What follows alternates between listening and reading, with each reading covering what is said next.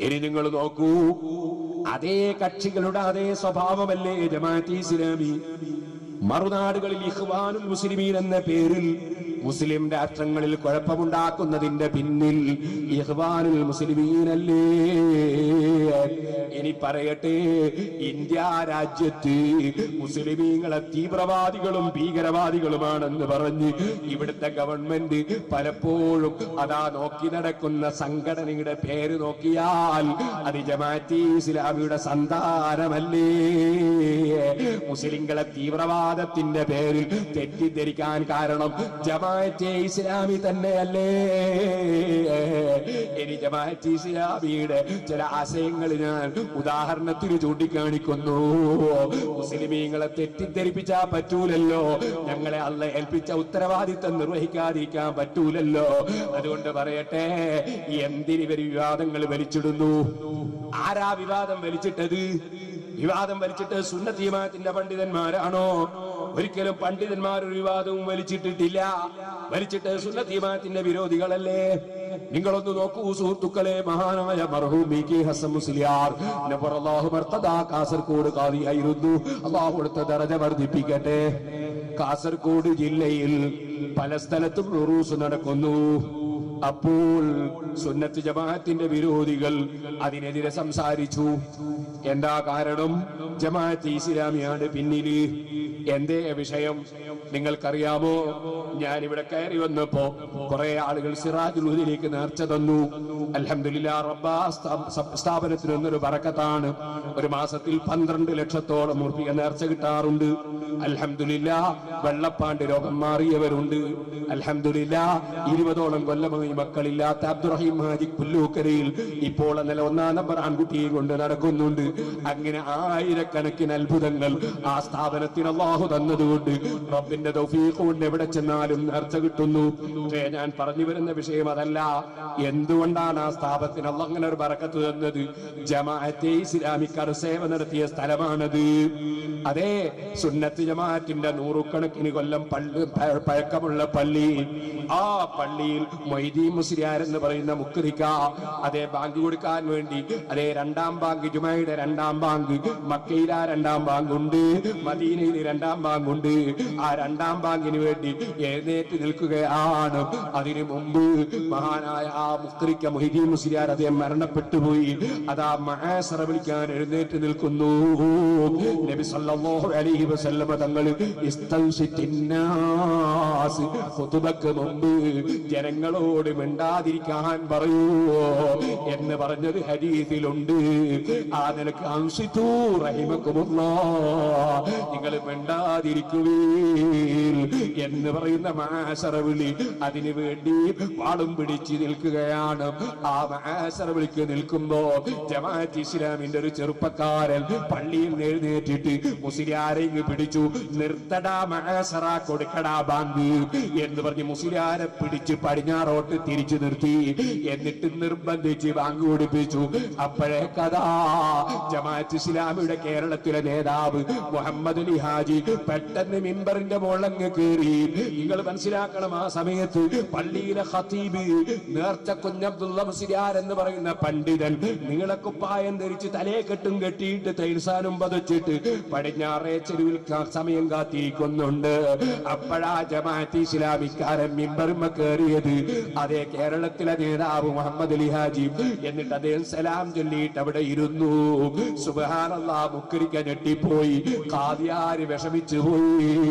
നിങ്ങൾ ഓർക്കണം കാസർഗോഡ് പോയിട്ട് അതേ ചുമട്ട് തൊഴിലാളികളോട് സമ്മതമില്ലാതെ അല്ലെ കോഴിക്കോട് പോയിട്ട് ചുമട്ട് തൊഴിലാളികളെ സമ്മതമില്ലാതെ വലിയങ്ങാടി ഇത് നിങ്ങളൊരു കെട്ടെടുത്ത് തലയിൽ വെച്ചാൽ ആരോഗ്യത്തോടെ തിരിച്ചു പോരുമോ? അതേ സമയത്ത് പള്ളിയിലെ ഹതീബ് മിമ്പറിൽ കയറാൻ വേണ്ടി കാത്തിരിക്കുമ്പോ അദ്ദേഹത്തോട് ഒരു അക്ഷരം പറയാതെയല്ലേ ജമാഅത്തുകാരൻ മെമ്പറിന് കയറിയത് എന്നാൽ ഒരല്പം മര്യാദയുണ്ടെങ്കിൽ കഴിഞ്ഞ ആഴ്ച പറഞ്ഞുകൂടായിരുന്നു ഖതീബിനോട്? അടുത്ത ആഴ്ച നിങ്ങൾ വരണ്ട മുസിയാരെ ഞങ്ങൾ പള്ളി പിടിച്ചെടുക്കുകയാണെന്ന് പറഞ്ഞുകൂടായിരുന്നു? ആ ഒരു മാന്യത പോലും കാണിക്കാത്ത ജമാഅത്ത് ഇസ്ലാമിന്റെ നേതാവ് കുറ്റ്യാടിയിലെ ജുമാഅത്ത് പള്ളിയിലെ മെമ്പറിൽ പച്ച മലയാളത്തിൽ പ്രസംഗം നടത്തി ആ പള്ളി പിടിച്ചെടുത്തു. ആയിരത്തി തൊള്ളായിരത്തി അറുപത്തിനാലായപ്പോ പള്ളിയുടെ തൊട്ടടുത്തുള്ള മക്ബറ പരസ്യമായി അങ്ങ് പൊളിച്ചു. ഇത് ഞാൻ പറഞ്ഞതല്ല. ജമാഅത്തി ഇസ്ലാമിയുടെ നേതാവ് കെ മൗലു മൗലവി കുറ്റ്യാടിയുടെ ഓർമ്മകൾ എന്ന പുസ്തകത്തിൽ പറഞ്ഞതാണ്. നിങ്ങൾ ഓർക്കണം അപ്പൊ നമ്മുടെ പള്ളി പിടിച്ചെടുത്തൊരു സംഭവമാണിത്. ഇതുപോലെ എത്ര സംഭവമുണ്ട്? മഹാനായ സയ്യിദ് അബ്ദുറഹ്മാൻ ബാഫക്കിത്തങ്ങൾ ചോരയും നീരും കൊടുത്ത് ഉണ്ടാക്കിയ പള്ളിയല്ലേ? കോഴിക്കോട് മുഹീദ്ദീൻ പള്ളി. ഷാദുലി ഷെയ്ഖിന്റെ പേരിൽ ഉണ്ടാക്കിയ പള്ളിയല്ലേ ഷാദുലി പള്ളി? ടിപ്പു സുൽത്താൻ മഹാനവറുകൾ അതേ പട്ടാളത്തിന് വേണ്ടി ഉണ്ടാക്കിയ പള്ളിയല്ലേ പട്ടാളപ്പള്ളി? അവിടെയൊക്കെ എങ്ങനെ സുന്നത്ത് ജമാഅത്തിന്റെ വിരോധികളെ കൈകളിലെത്തി? മുഴുവനും പിടിച്ചെടുത്തതല്ലേ? അതേ സമയത്ത് നിങ്ങൾ സുന്നത്ത് ജമാഅത്തിൽപ്പെട്ട ഒരൊറ്റ പണ്ഡിതനോ ഒരു മുസ്ലിമായ മനുഷ്യനോ ജീവിതത്തിൽ ഇന്ന് വരെ ഒരു ജമാഅത്തുകാരന്റെ പള്ളി പിടിച്ചെടുത്തതായി ചൂണ്ടിക്കാണിച്ചു തരുമോ? ഒരു മുജാഹിദിന്റെ പള്ളി ചൂണ്ടിക്കാണിച്ചത് നിങ്ങൾ കാണിച്ചു തരാൻ കഴിയോ? കാരണം നമ്മക്ക് അങ്ങനെ മറ്റൊരാളെ പള്ളി പിടിച്ചെടുക്കുന്ന ഏർപ്പാടില്ല. നമ്മൾ പിരിവെടുത്ത് സ്വന്തം പള്ളി ഉണ്ടാക്കലേ ഉള്ളൂ. എന്നാ സുഹൃത്തുക്കളെ നിങ്ങൾ മനസ്സിലാക്കണം. ആ ജമാഅത്ത് ഇസ്ലാമിക്കാരൻ. മക്ബറ തകർക്കുമ്പോൾ എന്താ കാരണം പറഞ്ഞത്? കാരണം പറഞ്ഞു ഈ മക്ബറക്ക് അത് അഡ്രസ് ഇല്ല. ഈ മക്ബറയിൽ ആരാ മറിയപ്പെട്ടതെന്ന് അറിയില്ല. അദ്ദേഹത്തിന്റെ ചരിത്രം രേഖയില്ല അങ്ങനെയാണ് മക്ബറ തകർത്തത്. അന്ന് മഹാനായ ഇ കെ ഹസൻ മുസ്ലിയാര് പ്രസംഗിച്ചു.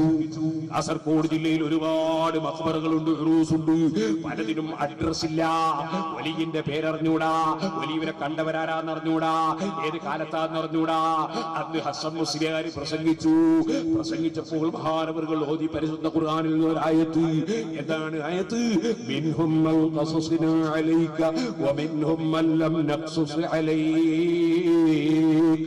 അല്ല ഖുർആനിൽ പറയുന്നു എല്ലാ അമ്പിയാക്കളെയും ബഹുമാനിക്കണം എല്ലാ അമ്പിയാക്കളെയും ആദരിക്കണം.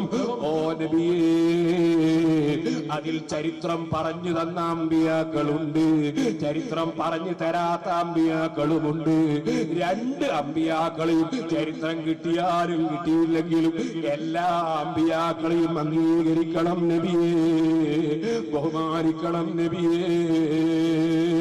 അമ്പിയാക്കൾ തന്നെ അങ്ങനെയാണെങ്കിൽ ഔലിയാക്കളും അങ്ങനെ തന്നെ. അതിൽ അഡ്രസ് കിട്ടിയവരുണ്ട് കിട്ടാത്തവരുണ്ട്. അഡ്രസ്സും രേഖയും കടലാസിൽ കിട്ടണമെന്നില്ല. കുമ്പുകാലം മുതലേ മുസ്ലിമീങ്ങൾ അതിന്റെ ബഹുമാനം വിശ്വസിച്ച് വിശ്വസിച്ച് വരുന്നുണ്ടെങ്കിൽ അത് ആദരിക്കേണ്ടത് തന്നെ. പക്ഷെ അത് ജമാഅത്തുകാരൻ സ്വീകരിച്ചില്ല.